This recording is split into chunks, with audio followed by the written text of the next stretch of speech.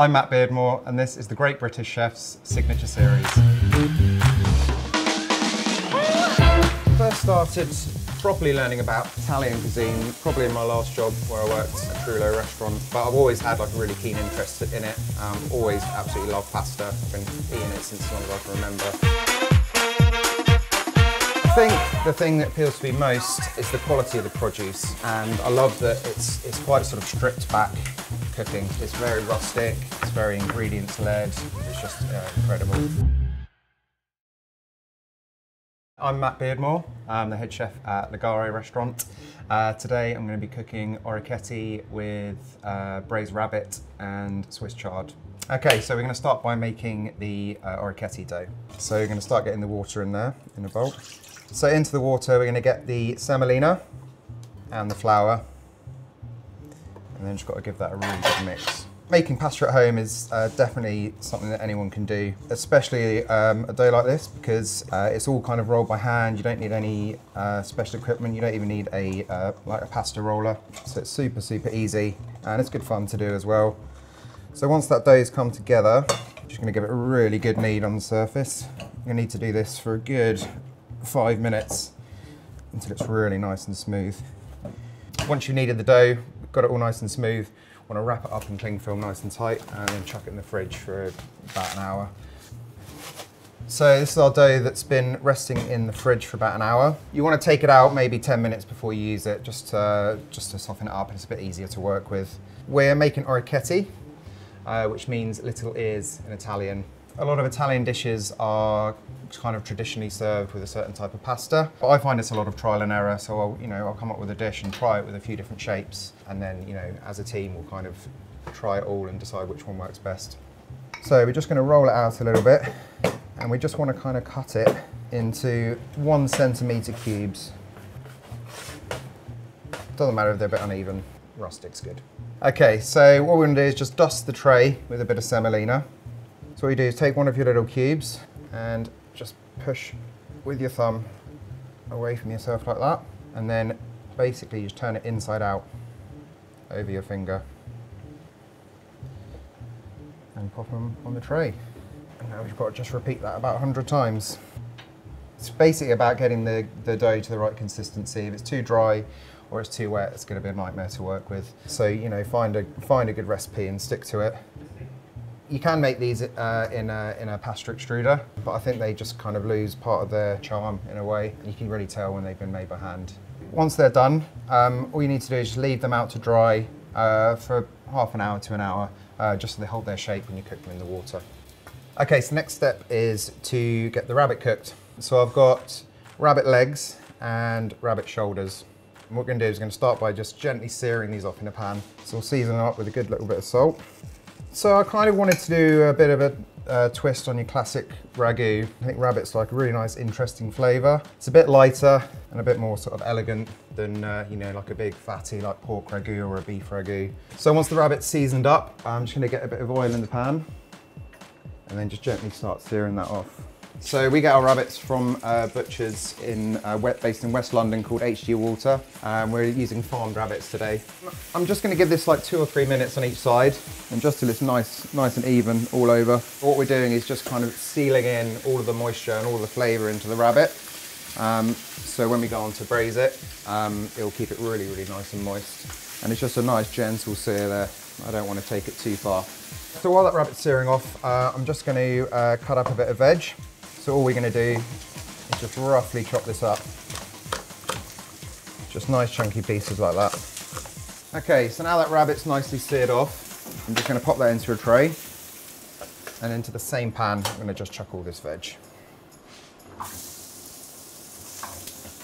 Get a little touch more oil in there. Rabbit's quite a lean meat, so there's not a lot of fat coming out of it. And again, we just want to gently cook this for about four or five minutes just to take off that, uh, that rawness. So once we've got the veg this stage, just started to take on a little bit of colour. We're just going to bang in a little bit of white wine. Just want to cook off the booze for a couple of minutes, um, else it will just have a bit of a winey taste and that won't really cook away in the oven. So Just let that boil down for a minute or so. Okay, so once we've cooked the wine off a little bit, I'm just gonna chuck in some chicken stock. And then we're just gonna bring that up to the boil. Okay, so now it's come up to the boil. I'm just gonna pour all of that over our rabbit there. And now I'm just gonna get a piece of parchment paper over the top and then wrap it really tightly in foil. You wanna make sure you're locking all of that flavor and moisture in. Then we chuck that in the oven uh, for about an hour at 170. Okay, so now the rabbit's had um, about an hour in the oven. We're now gonna take the meat off the bones very carefully because it's gonna kick out a load of steam. And what we're looking for is just the meat nicely just coming away from the bones there. So that's perfect. So we just take the rabbit out of there, pop it onto a plate. Just leave that to cool down for a few minutes.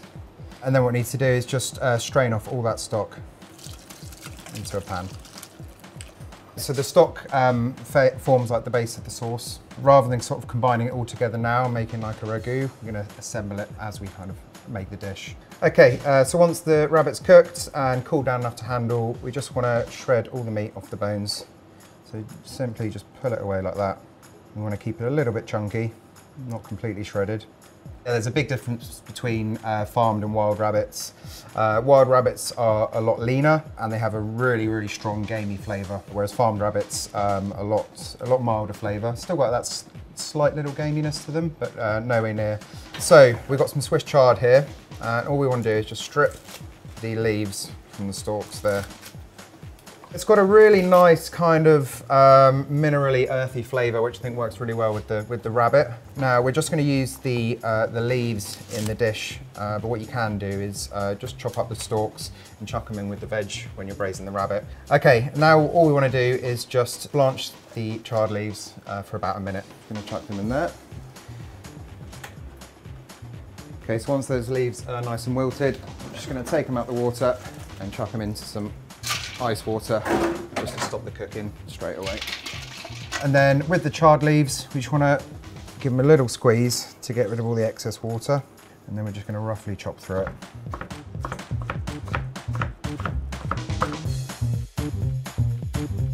Okay, so now we've got everything ready for the rabbit. We're going to drop the pasta. I'm going to boil that for about three to five minutes. In the meantime, we're gonna get a nice ladle full of the rabbit stock, a couple of knobs of butter, and some of that shredded rabbit. And we're just gonna gently warm that back through. We wanna keep it moving so the butter emulsifies with the sauce. We also wanna get a good whack of black pepper in there and a little bit of lemon zest. So when you're boiling pasta, you want the you want the water pretty heavily salted, almost like seawater, not quite. And that's kind of where most of the seasoning for the dish comes from. I'm not going to add any extra salt to it. All that's going to come from from the pasta pasta water. So now the pasta's cooked. I'm going to shake off the excess water and dump it straight into the rabbit. And now what I want to do is just give it a really good toss in the pan. And what this is doing is it's bringing all the sauce together, um, all the starch, uh, is coming out of the pasta. I'm just going to thicken up the sauce. I'm now going to chuck in some of those chard leaves and just keep working it like that. Starts looking a little thick, we can just add a little splash more of that stock in there. You'll be quite vigorous with when you're doing this because you really want to kind of encourage that starch out of the pasta into the sauce. So the reason I love this shape and that I think it works so well with this dish, not only does it have a really nice kind of chewy, bouncy texture, when you toss it with the sauce, you end up with these beautiful little like cups of sauce that just fill the pasta and it's really, really beautiful. And finish with a nice dusting of Parmesan.